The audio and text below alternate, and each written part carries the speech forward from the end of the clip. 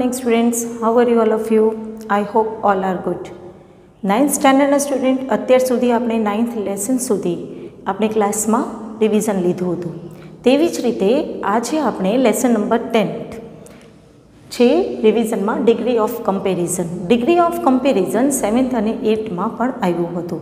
તો એના આધારે આપણે થોડું ઘણું તો જાણીએ છીએ, પણ એનું થોડુંક રિવિઝન એક્સરસાઇઝ આપણે લઈ લઈએ. સૌથી પહેલાં વાત કરીએ કે ડિગ્રી એટલે શું? ડિગ્રી ઓફ કમ્પેરિઝન એને કેવી રીતે ઓળખવામાં આવે કે અહીંયા આપણે ઇંગ્લિશમાં કેવી રીતે બોલવાનું? ડિગ્રી એટલે તમને એક ગુજરાતીમાં ઉદાહરણ આપું કે તમે હું એમ કહું કે હું મારી બેન જેટલી લાંબી છું. બરાબર? કાં હું મારા બધા બહેનો કરતાં વધારે પડતા લાંબી છું.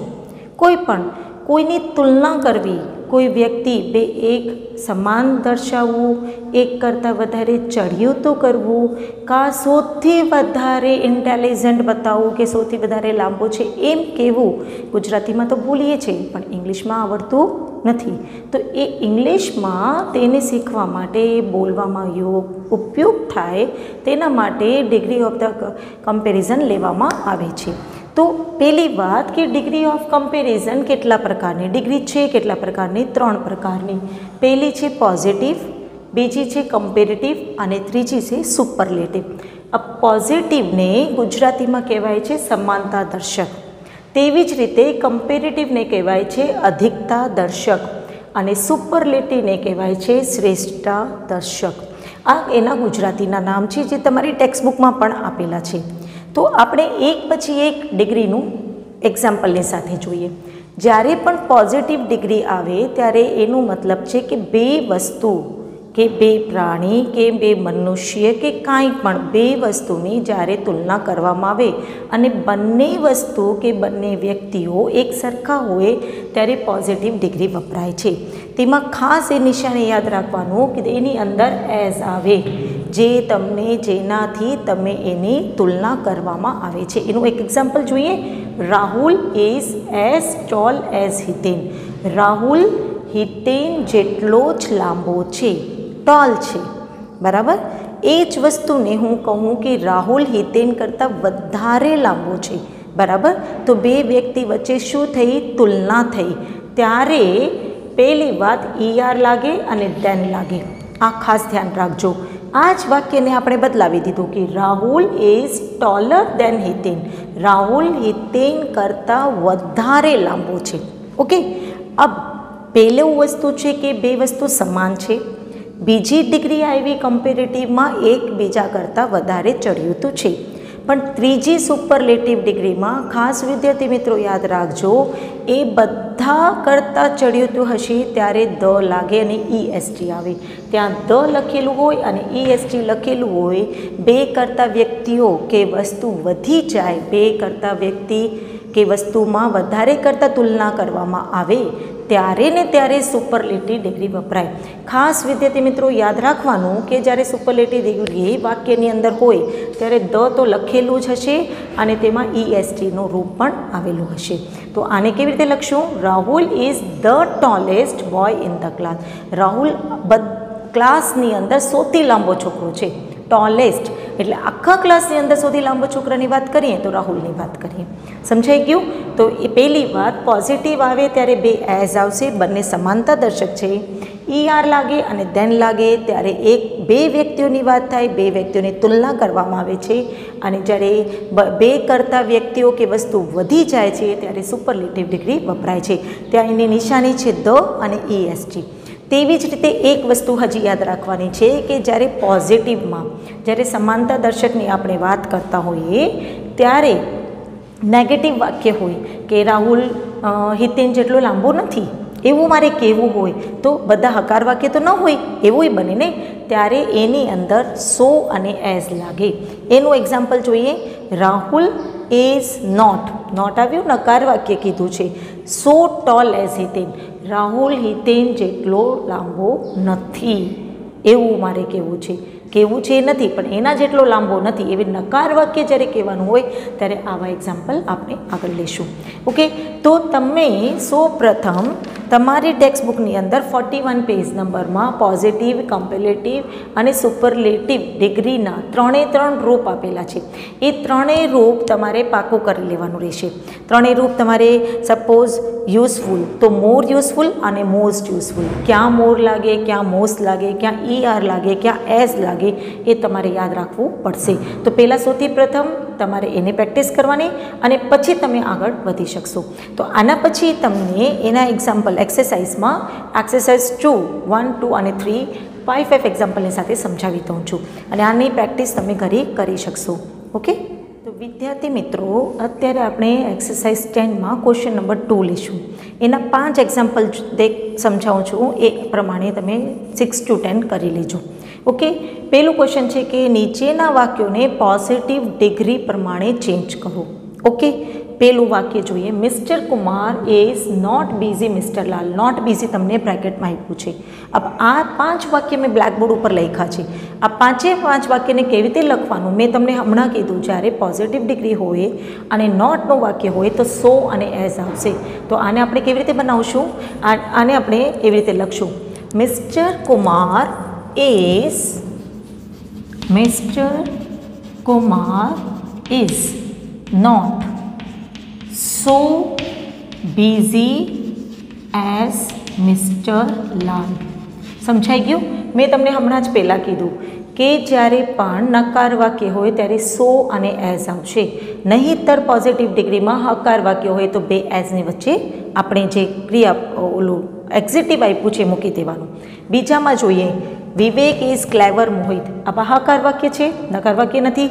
એટલે ઇઝ પછી ક્લેવરની એક આગળ અને એક પાછળ એઝ લાગી જાય, ત્યારે એ પોઝિટિવ ડિગ્રી બની જાય. કેવી રીતે લખશું? Vivek is as clever as Mohit. Vivek Mohit જેટલું જ ક્લેવર છે. ત્રીજું જોઈએ this book is thick that one અભી આ પણ હકાર વાક્ય હોવાથી મારે બે એઝની વચ્ચે થિક લેવાનું. થિકમાં ઈઆર નહીં લાગે અને ઈ એસટી પણ નહીં લાગે. કેમ કે પેલો બીજો પ્રશ્ન લખેલું છે કે નીચેના વાક્યોને પોઝિટિવ ડિગ્રી પ્રમાણે ચેન્જ કરું. તો આને કેવી રીતે લખશું? This book is as thick as that one આ બુક પેલી બુક જેવી જ થિક છે. ઠીક એટલે જાડી ફોર્થ વન જોઈએ. Nitin runs fast Chetan. Okay Nitin Chetan જેટલું જ ફાસ્ટ રન કરી શકે છે. બરાબર? હકાર વાક્ય હોવાથી સો એસ તો નહીં આવે. તો એને લખશું. Nitin runs as fast as Chetan. બરાબર? સમજાઈ ગયો? ખ્યાલ આવ્યો ને? પોઝિટિવ ડિગ્રી કરવા બહુ ઇઝી છે. બસ એક નકાર વાક્યમાં થોડુંક ધ્યાન રાખજો. એટલે છ થી દસ તમે આરામથી કરી શકશો.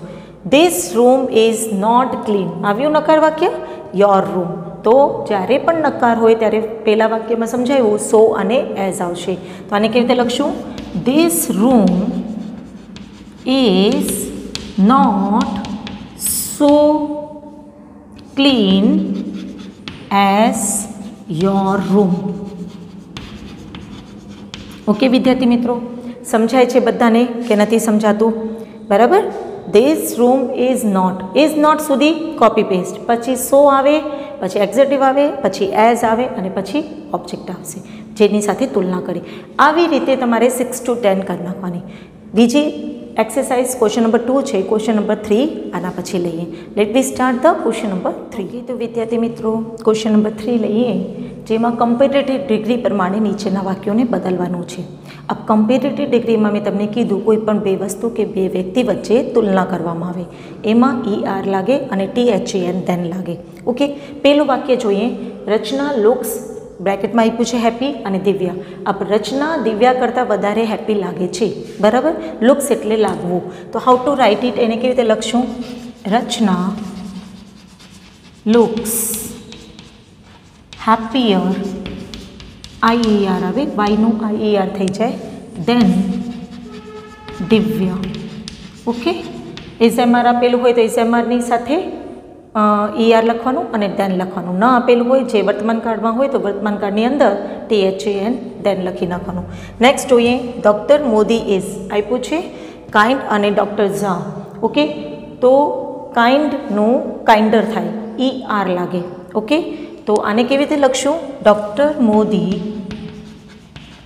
is kinder E R તો લખવાનું જ. કમ્પેરેટિવ ડિગ્રીમાં ઈઆર આવશે દેન ડૉક્ટર ઝા સેમ આવી રીતે this book is interesting that book અબ ઇન્ટરેસ્ટિંગ છે, એના ત્રણેય રૂપ. ઇન્ટરેસ્ટિંગ મોર ઇન્ટરેસ્ટિંગ અને મોસ્ટ ઇન્ટરેસ્ટિંગ એટલે બીજી લાઇનમાં કમ્પેરેટિવમાં આવે મોર ઇન્ટરેસ્ટિંગ તો આપણે અહીંયા ઇન્ટરેસ્ટિંગની જગ્યા this book is more interesting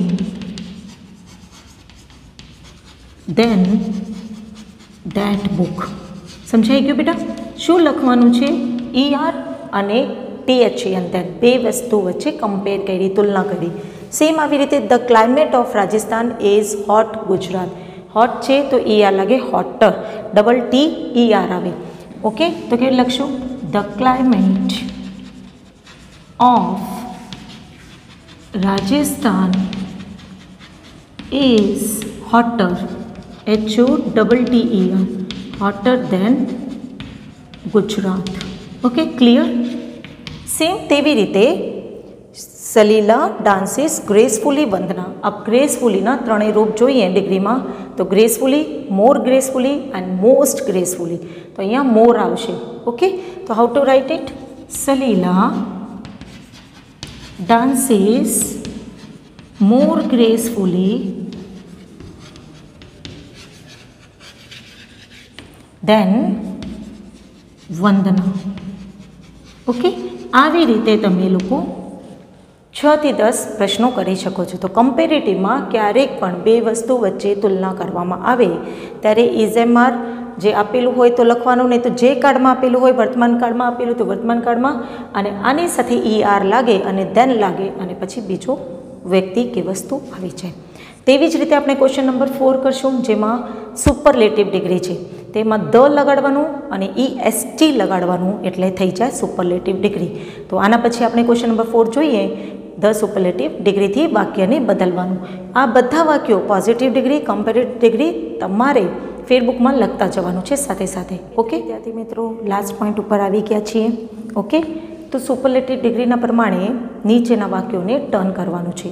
આ વાક્યમાં બે કરતાં વસ્તુ વધી જાય છે. બે કરતાં વ્યક્તિઓ કરતાં વધારે કમ્પેરિઝન થાય છે. ત્યાં ધ લાગે અને ઈએસટીનું રૂપ આવે, જે તમે ડિગ્રીનું તમારી ટેક્સ્ટ બુકની અંદર જોઈ શકો છો. ત્રણ ભાગ પાડેલા છે. પોઝિટિવ કમ્પેરેટિવ અને સુપરલેટિવ તો આના પ્રમાણે આપણે જોઈએ પહેલું વાક્ય. Hindi is easy of all the subject all the subject એટલે બધા વિષયમાંથી. બે કરતાં વધી ગયું. તમે જોઈ શકો છો વાક્યને જોતાં જ ખ્યાલ આવી જાય આ સુપરલેટિવ ડિગ્રીમાં કેવી રીતે કન્વર્ટ કરવાનું. How to write it let's check out it Hindi is the લખવાનું easiest easiest of all the subject okay શું લગાડવાનું? વાયની જગ્યા આઈ અને ઈ એસ ટીનું રૂપ અને ધ પહેલાં આવે. હિન્દી બધા વિષયમાંથી સૌથી ઇઝી ભાષા છે. સમજાઈ ગયું? એને સુપરલેટિવ ડિગ્રી કહેવાય. સૌથી વધારે સારું હોય ત્યારે ઈ એસટીનું રૂપ આવે છે. તો આપ લખીએ my father has given me good gift up ગુડનો ત્રણેય રૂપ ગુડ બેટર અને બેસ્ટ આવે. તો ધ બેસ્ટ આવશે. તો બીજું કોઈ ચેન્જીસ નહીં થાય. My father has given me the best gift થઈ ગયું? આખું આન્સર કોપી પેસ્ટ છે. એટલે ધ લગાડીને ઈએસટી વાળું રૂપ લઈ લ્યો. નેક્સ્ટ વન જોઈએ. Cinderella was pretty princess okay સૌથી વધારે સુંદર પ્રિન્સેસ હતી સિન્ડ્રેલા તો Cinderella was the prettiest P R E double T I E S T the prettiest princess. સૌથી વધારે સુંદર સિન્ડ્રેલા પ્રિન્સેસ રાજકુમારી હતી. એ સ્ટોરી છે સિન્ડ્રેલાની. નેક્સ્ટ વન જોઈએ. Solomon was wise king okay આ વાઇઝનો વાઇઝેસ્ટ આવે. એ એસટીનું રૂપ લાગશે. તો સોલોમન લખી નાખીએ. સોલોમેન વોઝ ધ લખવાનું અને વાઇઝેસ્ટ ધ વાઇઝેસ્ટ કિંગ સૌથી દયા વાઇઝેસ્ટ કિંગ છે Solomon Nandu is thin of all the boys આવી ગયું ને ઓલ ધ બોયઝ બધા કરતાં સૌથી પાતળો છોકરો છે એટલે બે કરતાં વધી જાય એટલે સુપરલેટિવ ડિગ્રી આવે તો how to write it Nandu is the thinnest of all the boys clear બધાને સમજાઈ ગયું આવી રીતે તમે question number one question number two અને ક્વેશ્ચન નંબર ટુ થ્રી અને ફોર કરી શકશો અને ખાલી જગ્યા તમે તમારી પ્રમાણે પ્રેક્ટિસમાં કરી શકશો ઓકે તો આજે શું કર્યું? ડિગ્રીઝ કરી. આ ડિગ્રીના six two A ten answers બધા ફેસબુકમાં લખવાના રહેશે અને આને સમજીને લખજો. જોયા વગર લખજો એટલે ખબર પડી જાય કે આપણને આવડે છે. તો બધા પોતાનું ધ્યાન રાખજો. Have a nice day thank you so much